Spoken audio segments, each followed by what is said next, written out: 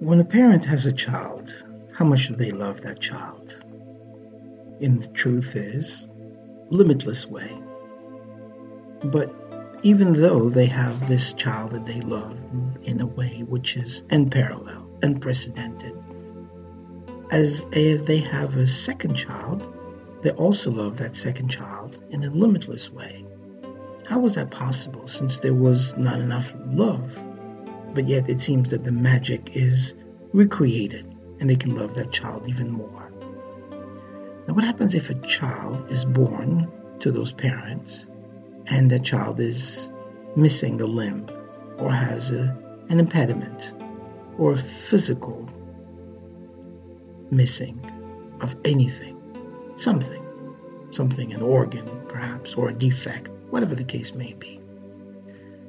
That parent now, those two parents, love that child even more so than all the other children. They have a unique and parallel exclusive love that emerges from them. And this love is unique. And it's not because the child is missing something, it's because the parent feels that this child is unique in their way, and therefore, from their own essence and being, emerges this unique, exclusive love as well. This is how we are supposed to believe and love everyone in an unconditional way without any limits. When we meet someone who may have a physical, emotional, or spiritual deficiency, or impediment for that matter, whatever the case may be, remember that the Creator gave them the same rights that He gave to you and I and that the Creator loves them in a unique way. And for that, we have to emulate that same type of condition and love, and we have to become above and beyond who we are today.